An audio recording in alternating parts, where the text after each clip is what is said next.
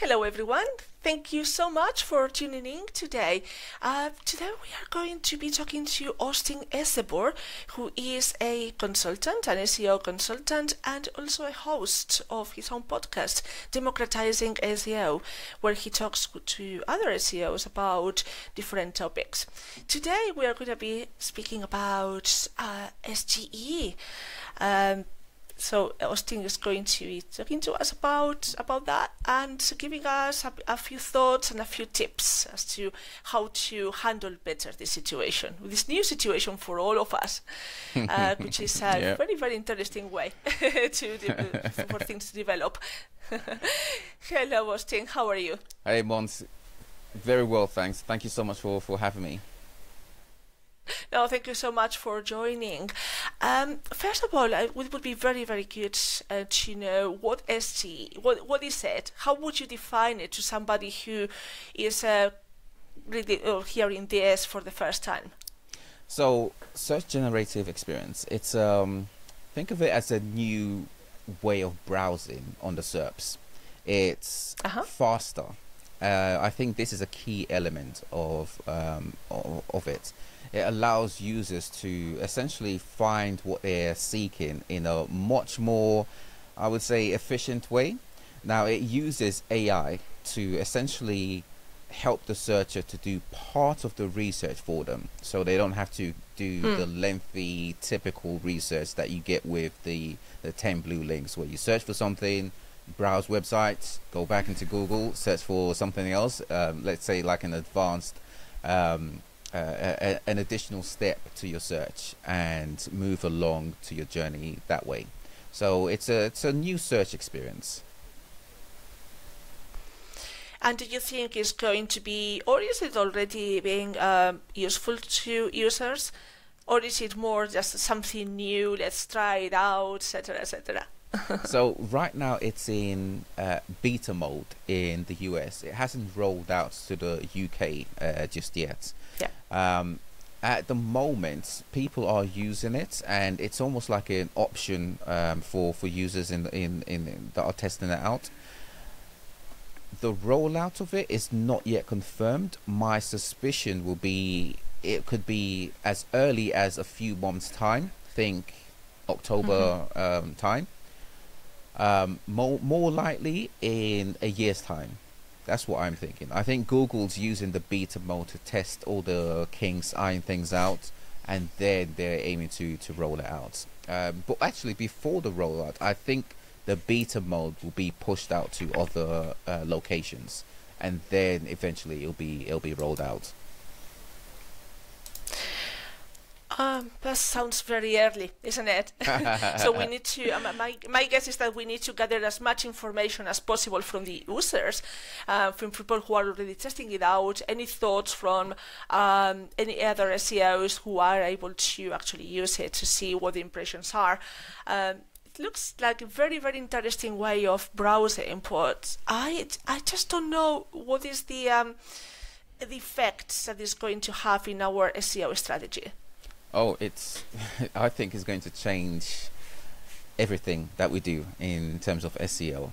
Um, the entire landscape is changing. So it's not just the SERPs that are changing. It's also um, the way Google wants to serve their users that are changing. Now remember, Google's mm-hmm. users are our users that we're trying to acquire from Google, and also users' expectations are also changing.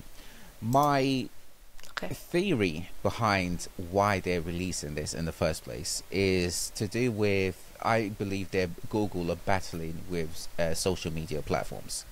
Essentially, there are the okay. search elements on the search element on social media platforms is seeing an increase, and Google's looking at this and saying this could be a major threat to our uh, market share.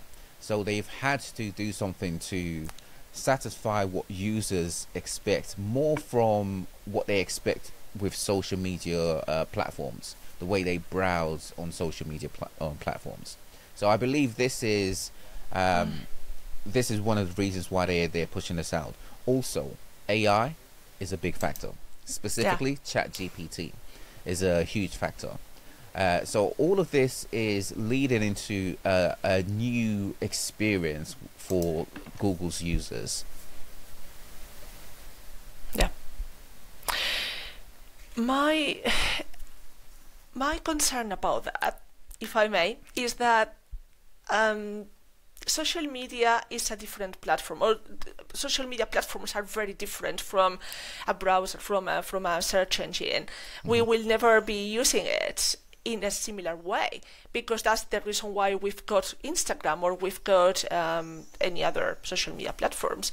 So I just, uh, I this poses the question: How can we actually can we can we actually um, handle the situation? Perhaps optimizing images, really optimizing images, because um, half of the work that I find uh, that I come across during my consulting time is uh, is to do with images. Uh, a lot of the times, images are not optimized properly or not optimized at all. Mm-hmm. So I wonder whether that is one way we can actually handle this uh, different way uh, well, of search. Images is one aspect, uh, but I think that's a small aspect compared to the overall um, big scheme of things.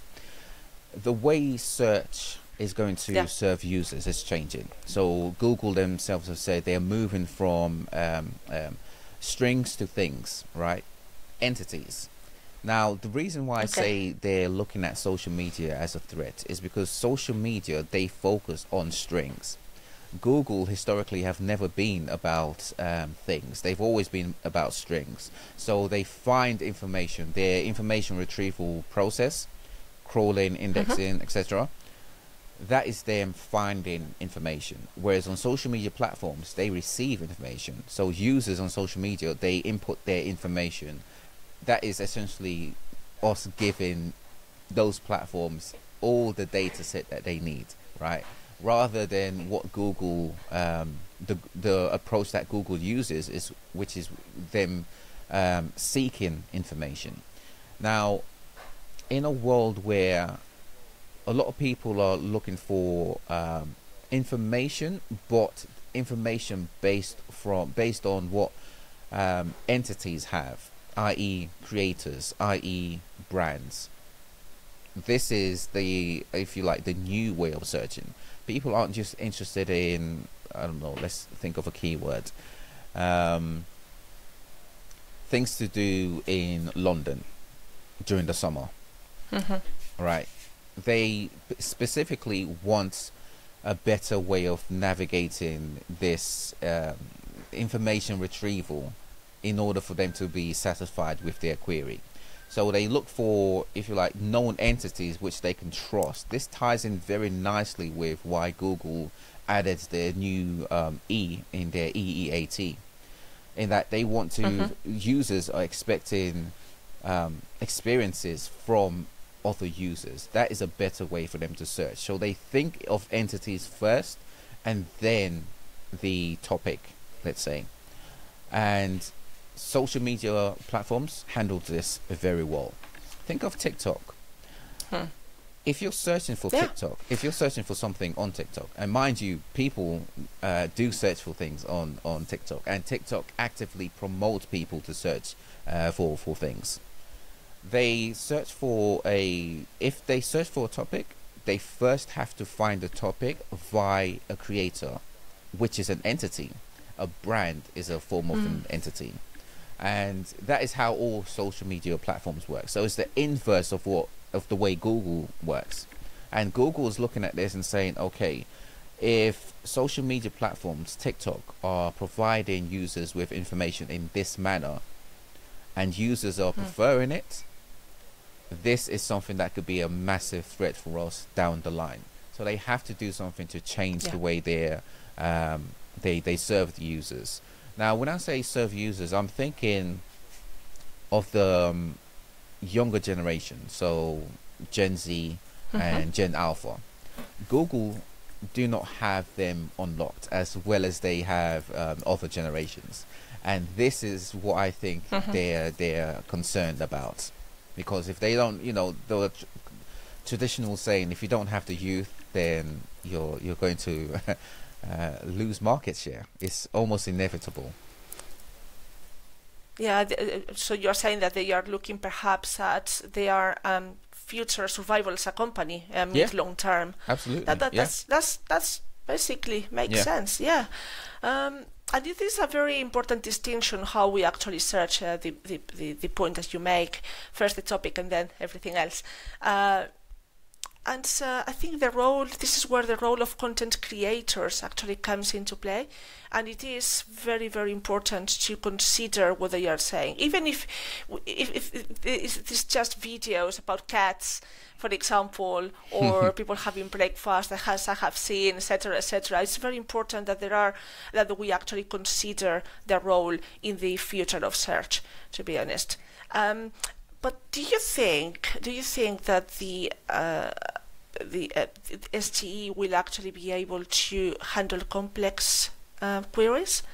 That, because that is my concern. I mean, the reason why I mentioned earlier.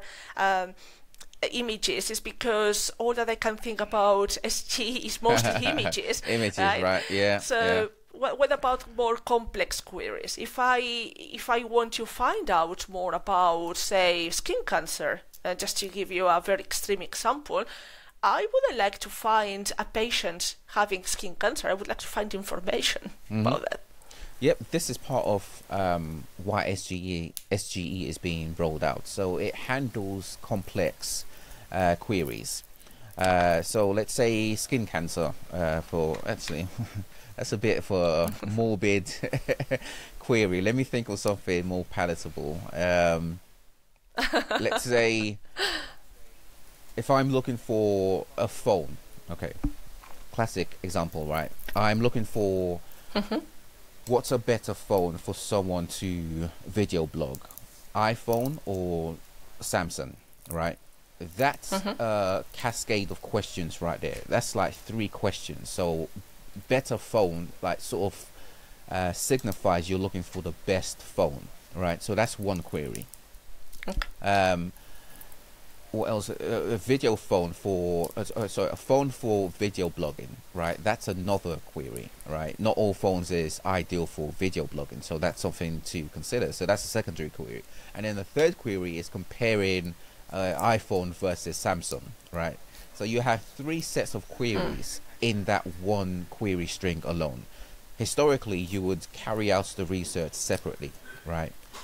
SGE aims to do all of that for you and arrive at the answer to all of the questions all in one. So it's this is why I say it's a faster experience. It's saving users time, right? Instead of them carrying out all this research and as Google calls it, the the the, the heavy lifting of research, they handle all of that for you and present to you what they think is the best answer to your queries. I say it's what they think because you know they're uh, a machine. You know they use your information your data set uh, everything they know about you and present uh, what they think is best for you uh, based on the query that you want uh, as well as the other information that they have about you.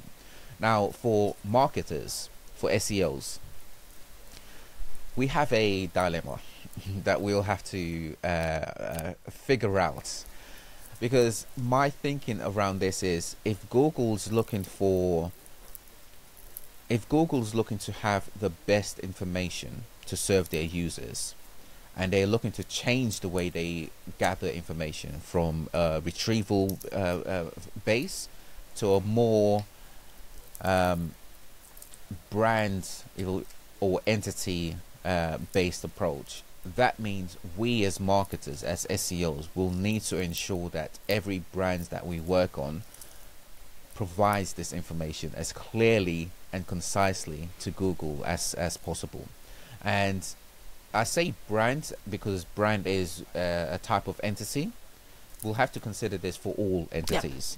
Brand is the most important entity the approach that we'll have to adopt will be to focus on entities, beginning with the brand, and ensuring that Google Uh-huh. knows the facts about the brand. The more Google knows about a brand, the better they'll be, they'll be able to serve users with with the brand as a recommendation. And remember, the left-hand rail, the ten blue links, the traditional Yeah. SEO that we all know of, it's simply Google's recommendations, right? But they're moving Mhm. away from that approach of serving users. They're using a more dynamic approach to serve to satisfy their users. It's a lot more uh, comprehensive now. And in order for them to make a recommendation, they first have to know the entity as well as well as they can do, which begins with the brand. So, from a marketing point of view, from an SEO point of view, I think we'll have to focus on ensuring that we say to Google, this brand does this for this audience, being very, very Mhm. clear. There shouldn't be any um, um, ambiguity about it. Um, so, a brand, this brand, we service this um, um, subset of your users, Google's users, which again are who we're trying Uh-huh. to acquire with SEO, right? That's the whole point of um, organic uh, traffic, and we do this for the for the for the users. And the clearer we have this, beginning with the brand, the better we'll be able to be uh, shown within, if you like, the SGE sphere.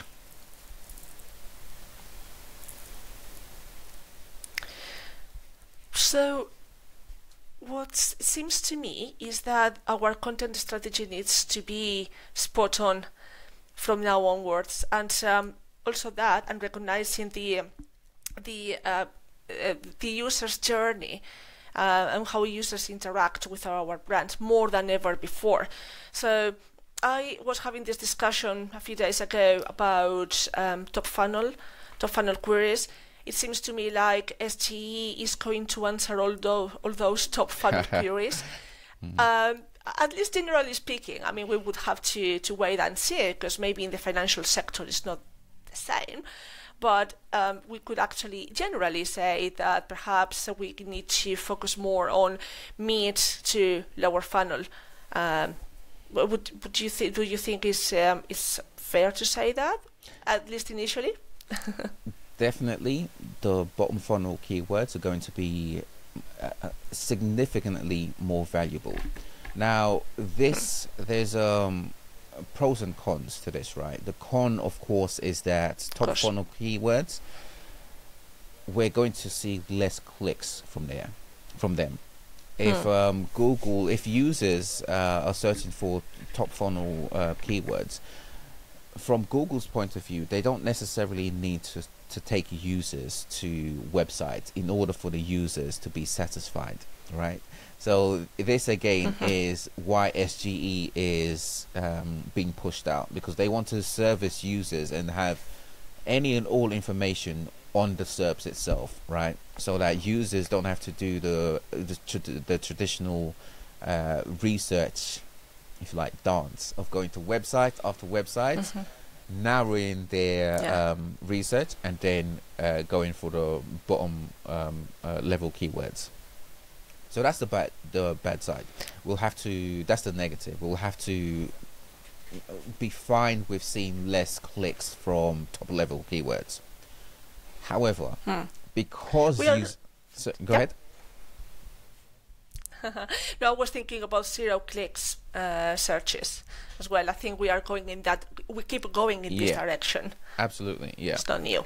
yeah, yeah, we're going to see an increase in that uh, significantly. That increase, I believe, will lead to more of an increase on low um, bottom funnel keywords. Um, I think we're going to see a high demand on bottom level key, um, keywords because essentially users are now um, carrying out their research faster, quicker, right? And Mm. this allows them to arrive at the bottom funnel keywords um, a lot sooner than they would than they would have, um, and p- potentially within a shorter space of uh, time. As in, once they start their Hmm. search journey, they can go from one, uh, they can go from top level keywords down to bottom level keywords within that same journey sitting. So that's going to be very Alright. interesting, and I think the demand around bottom level keywords is going to increase, particularly particularly with brand uh, led search. This is why I say brand is going to be the most important. Think of also to add to this mix of um, exciting, comprehensive uh, search experience we're going to uh, be shown in the months and years to come. We have AI. We have Bard. Mm-hmm. In theory, Google have enough data over the 25 years they've been around. They've collected enough data to be able to essentially serve their users with information that they think their users want. This is what Bard is about. They Yeah. curate content, right? So in theory, this is something that Mhm. Google can do already. The value, I believe, will be around the brands that is providing the information to users. So what is the best brand for me as a user when I search for a topic? That is why branding is going to be more than ever most most important in SEO. Wow. I think it is going to be very different in the uh, various markets around the world. Do you have any thoughts on that? Ha, I, I, That's I a do. difficult It's, one, sorry. it's, it's uh, that, that's that's that's okay. It's slightly early to say just yet, but I think the experiences across markets would differ based on the maturity of Google within that market. So Google US very um, uh, so very mature markets compared to Mhm. Latvia, for example, right? So, and this is why I think Google specifically have SGE launched in the US first, because that's their most, that's their, um, the if you like, quote unquote, richest market where they have the most amount of data that they can uh, use and iterate, and then funnel that to Mhm. other markets. So I think this would be uh, this would be one of those situations where um, we're seeing great results as users. We're seeing great use- results using SGE in the states, in European, in markets within European, um, within Europe that are more mature than less mature markets, i.e., markets where Google don't necessarily have a uh, stronghold or strong footing um, as compared with the, the, the US market.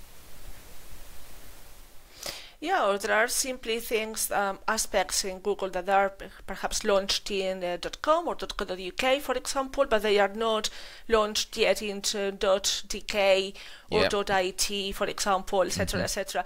Uh, we know that takes time, right? Yeah, yeah. It used to happen first in the in Australia and um, and uh, the US market, and then it would actually funnel down to other markets, as you say. Yeah. But it would actually take a lot longer to Yeah. um, uh, for us to, to have those those Yeah. um, those aspects, those This is why- functionalities, right? Uh, Absolutely, th- this is what I think the uh, one why they have it currently as an option, SGE as an option. So it's a, so a button you you um, uh, tick to en- enable it, and 2 Uh-huh. I think it's uh, it's also going to change based on um, Google's knowledge of the queries that you're of, of one's queries.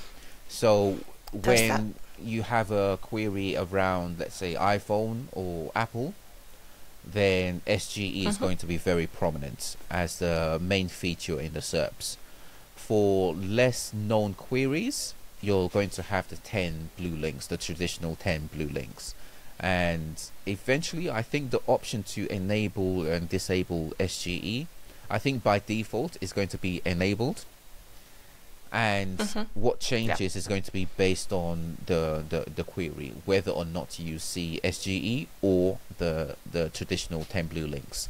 I do think that te- the 10 blue links, the goal of Google is to eventually fade all of that out, but that's way, way down the line.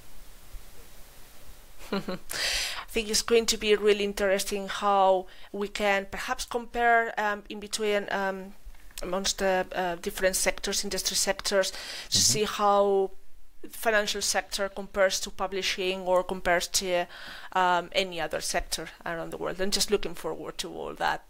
So, uh, what do you think? Uh, what are your best three tips for brands to uh, to do uh, to to get ready for this? Okay, so I think as a um, industry uh, or community, SEOs we have to Mhm. switch our thinking from um, looking at um, uh, strings, the, t- the traditional way of um, optimizing for um, traffic, to considering things Uh-huh. specifically entities, Mm. even more specifically, starting with the brand that we're working on. That is the key to everything. The brand has to be central to everything that we carry out. Once we have that, I would say optimize um, entity optimization. It's a, it's a broad subject and probably um, it extends the scope of this con- this conversation. But essentially, optimizing for entities, uh, you want to have uh, three things. So, uh, establish what the entity is, what the Mhm. entity does, and which audience the entity serves. Now, remember, as I mentioned earlier, uh, the audience that we as marketers, as SEOs, are going after are Google's audience. So, if we can nail Mm. down precisely who our audience is based on our entity, then Google will be, will be better able to match what we do with the audience that are seeking what we do or service or products, Hmm. you know, what have you.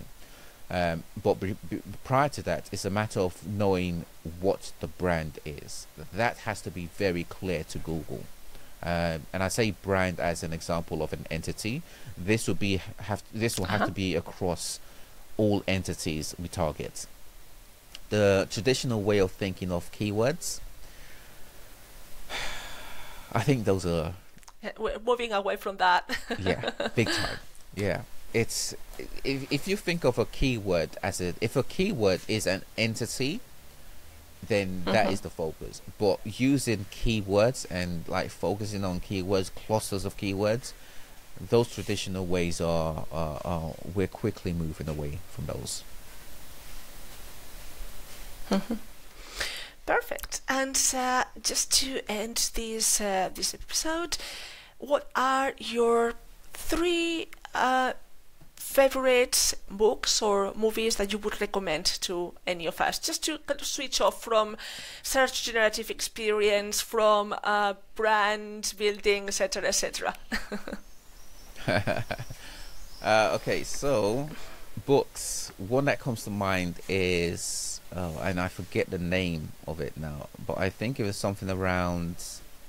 I think it's called the Fundamentals of Brand SERP um, Optimization. It's by Jason Barnard, who's like the godfather of Oh, uh, um, um, um, brand SERP optimization. Right, so Brand that I yeah. would say is a must read for all SEOs and two other books w- uh, that I would suggest is, um, of course, Eli um, book, um, Product Led SEO. or movies. or movies. Okay, so Uh-huh, yeah, movies. it's a good one. You know, Arrival is the one that comes to mind right now. Um, I think it's because I, I saw the trailers for Dune, uh, Dune Part Two, and I thought of the di- the director and thought of the movie Arrival, which is uh, a fascinating movie. Uh, so I would say Arrival. Um, hmm that's the only one that comes to mind right now. So I, I'll have that as the third recommendation, along with the with the other two books. That's that's perfect. Thank you so much. We we all need to kind of switch off from time to time to actually uh, get more ideas in our mind, to gather ideas, gather our thoughts as to how to approach these um, these new aspects like um, um, SGE, which we are um, having to deal with very very soon um, across uh, across the rest of the world, not just the US. So. This is the end of the episode. Thank you so much, Austine, for all your thoughts. Thank you, pleasure. Uh, where? No, no. Uh, uh, uh, where where can our um, listeners uh, find you? So I'm on uh, YouTube. I my podcast is democratizing SEO. Uh, so check me out on there, and uh, you could also find me on LinkedIn. I am not very active on most social uh, media platforms, but LinkedIn is my jam. So YouTube and LinkedIn. All right, so everyone, uh, just go and check Austine Hosting Esezobor on LinkedIn and on Democratizing SEO on YouTube. Thank you so much for listening. Thank you. Thank you for your time. It's been, it's been a pleasure.